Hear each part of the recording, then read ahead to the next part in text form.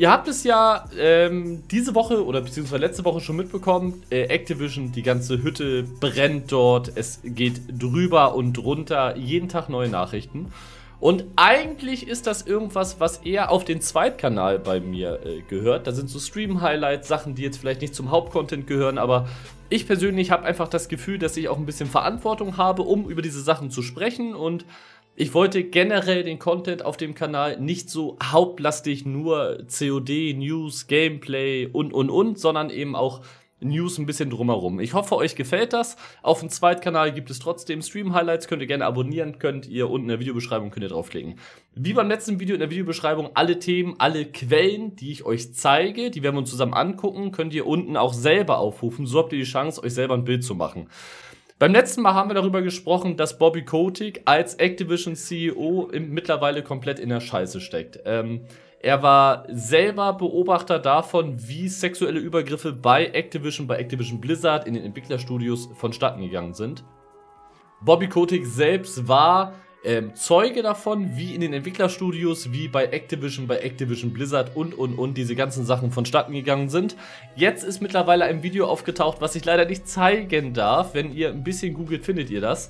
Äh, Bobby Kotick ist ja mittlerweile seit drei Jahrzehnten im Prinzip an der Spitze von Activision. Und man sieht leider nicht, in welchem Büro das war, aber eine junge Designerin, so Anfang Mitte 30 würde ich sagen, sitzt an mir im Arbeitsplatz. Einer der verantwortlichen Vorgesetzten geht zu ihrem Arbeitsplatz, guckt so von hinten, greift so in die Schultern, guckt, was sie da macht und geht mit den Händen von hinten in das Top rein, in den BH und knetet der Frau einfach die Brüste während des Arbeitstages.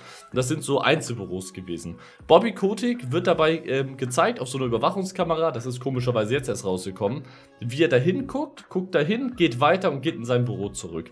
Das scheint nur einer von den ganzen Vorfällen zu sein, die aktiv über seinen Tisch gelaufen sind. Dan Bunting, der Vizechef von Treyarch über viele Jahre, wurde ja bereits 2017 im Prinzip von der Mitarbeiterin, die er sexuell angegangen haben soll, angezeigt bei Kotick. Kotick hat sich dafür eingesetzt, dass dieses ganze Thema außergerichtlich geeinigt wird und Dan Bunting ist dann ähm, glaube bis 2019 noch im Unternehmen geblieben bei Treyarch und ist dann, nachdem das Wall Street Journal im Zuge dieser ganzen Enthüllung auf ihn zugekommen ist, hat er nur geantwortet, er gibt keinen Kommentar dafür ab und ist in dem Tag an gleichen Abend zurückgetreten. Das Ganze geht jetzt aber noch viel, viel weiter. Dieses Jahr ist ja wirklich das Jahr, wo bei Activision mehr als nur die, äh, die Hütte brennt. Die Vanguard Season 1 und die neue Warzone Pacific Map sind vom 1. bzw. 2. Dezember ohne Ankündigung auf den 8. Dezember verschoben worden. Wenn man sich anguckt, wie viel Bugs äh, Vanguard hat und wie viel Ärger in den Entwicklerstudios ist, macht das sogar Sinn. Man wird aktuell das Gefühl nicht los, dass dieser ganze Konzern mit all den Entwicklern dazu, mit Activision, Activision Blizzard, Treyarch, Sledgehammer, Infinity Ward, dass da keiner aktuell zum Arbeiten kommt. Und jetzt kommen die drei Hammer-Dinger. Die Bosse von Xbox und PlayStation haben sich beide zu dieser Thematik geäußert und haben im Prinzip gesagt, wir sind mehr als schockiert über das, was hier alles passiert. Wir sind nicht bereit, das Ganze weiterhin zu akzeptieren. Äh, bei PlayStation und Xbox, also Microsoft, sind die COD-Spiele und auch COD Vanguard aus der Startseite vom Store bereits rausgenommen. Beide haben indirekt eine Drohung gestellt und gesagt, sollten sich die Verhältnisse nicht rasch ändern und hier rasch Dinge passieren, müssen wir über weitere Konsequenzen nachdenken.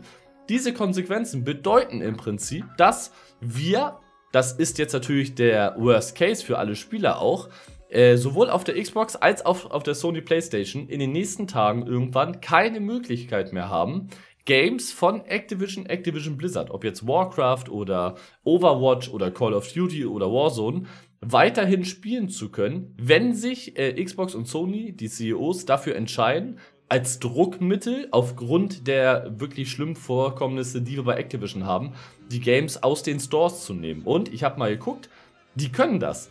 Xbox und Sony sind nicht daran gebunden, die Games bei sich äh, spielbar zu haben.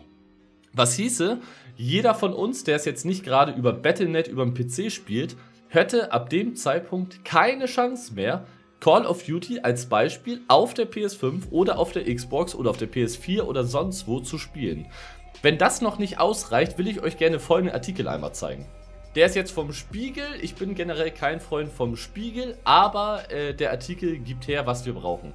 Activision insgesamt hat 10.000 Mitarbeiter und mehr als 1.300 Mitarbeiter, bitte auf das Datum achten, ist sogar von Freitag, haben in einem offenen Brief, den sie alle unterschrieben haben, mit ihrem vollen Namen und mit ihrer Position im Unternehmen, gefordert, dass Bobby Kotick mit sofortiger Wirkung aus dem Betrieb ausscheidet, dass er sein Amt niederlegt mit der Begründung, wir, die Unterzeichner, haben kein Vertrauen mehr in die Führung von Bobby Kotick als CEO, die jeweils samt Angabe des Namens und der Position unterzeichnet wurde.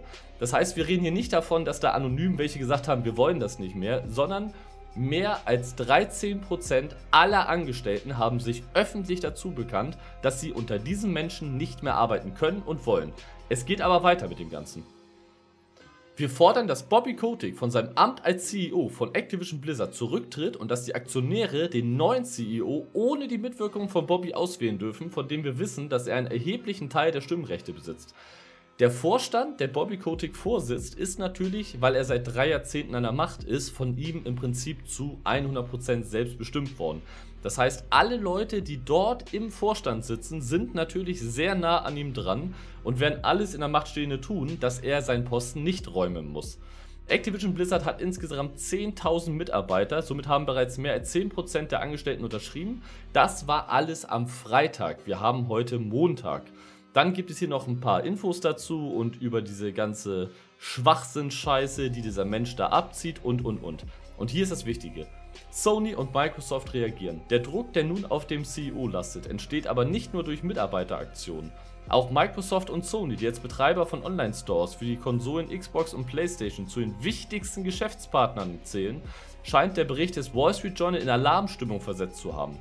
Bloomberg berichtet, das ist der Bericht, auf den ihr raufklicken könnt, Microsoft-Chef Phil Spencer habe seinen Mitarbeiter und Mitarbeitern mitgeteilt, er sei bestürzt und zutiefst beunruhigt über die schrecklichen Ereignisse und Handlungen bei Activision Blizzard. Diese Art von Verhalten hat in unserer Branche keinen Platz, soll Spencer geschrieben haben. Man selbst werde nun alle Aspekte unserer Beziehung zu Activision evaluieren und infolgedessen proaktive Anpassungen vornehmen. Auf Nachfrage bestätigt der Microsoft-Sprecher, dass Bloomberg Spencers Aussagen korrekt wiedergegeben habe. Das Ganze geht weiter und weiter. Kotick hat aktuell noch wichtige Unterstützer. Es geht aber auch hier noch weiter, wenn ihr hier mal reinschaut. Bobby Kotick hat jetzt in einer neuen Meldung gesagt, er ist bereit von seinem Posten zurückzutreten. Das wird ja auch rechtliche Gründe haben, weshalb er das tatsächlich überlegt. Aber er lässt sich die Hintertür offen. Nur wenn all diese Probleme mit Vergewaltigung, Selbstmord, sexuellen Übergriffen, ungleicher Bezahlung, Rassismus nicht in sehr kurzer Zeit überarbeitet wird.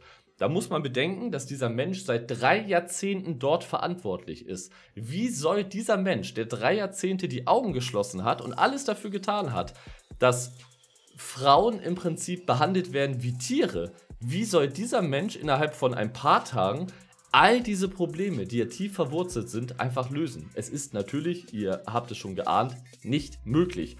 Das heißt, das kann dieser Dreckskerl natürlich komplett vergessen. Hier, Kotick ist schon seit drei Dekaden in einer leitenden Position bei Activision. Demnach bleibt es fraglich, welchen Zeitraum er der Beseitigung der Probleme einräumt, die sich über viele Jahre im Unternehmen angestaut haben. Kotick soll einer der Mitschuldigen an der aktuellen Firmenkultur von Activision sein. Er selbst soll seit Jahren von den sexuellen Übergriffen gewusst haben, aber nichts dagegen unternommen haben. Im Gegenteil, er Beschuldigte vor der Entlassung bewahrt haben.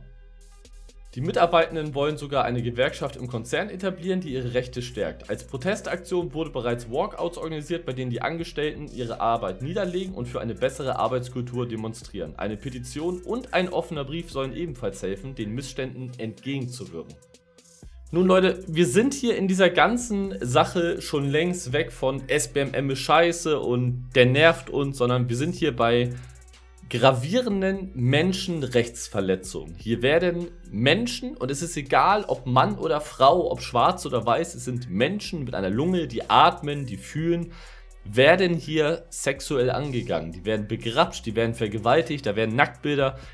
das geht so weit, dass diese Menschen, so wie eine äh, Mitarbeiterin, sich das Leben nehmen.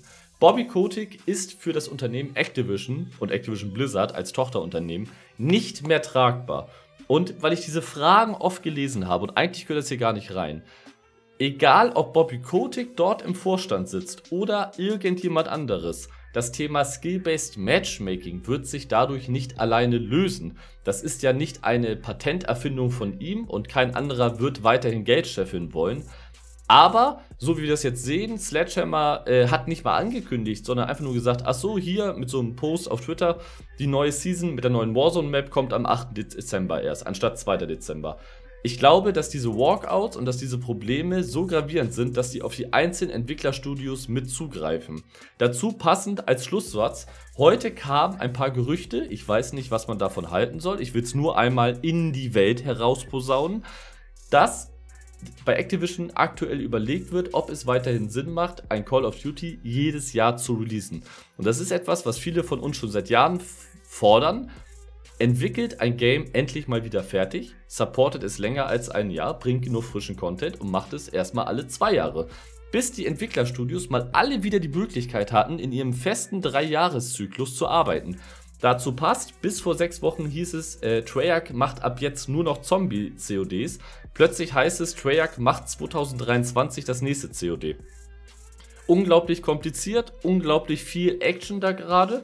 Meine persönliche Wette wäre, dass Bobby Kotick zu Ende dieser Woche bekannt gibt, dass er den Posten räumt und was ich nur hoffen kann, dass viele aus dem Vorstand zusammen mit den Abteilungsleitern Verantwortlichen ebenfalls ihre Sachen packen und dass all diese Leute, die da verantwortlich waren, die davon wussten, die aktiv auf Frauen losgegangen sind und und und, alle ihre gerechte Strafe bekommen. Ich werde euch weiterhin informieren, wenn es hier Neuigkeiten gibt, das ist versprochen. Lasst gerne ein Like da, lasst gerne ein Abo da. Nicht für das Thema, aber vielleicht fürs Video. Ich bin raus.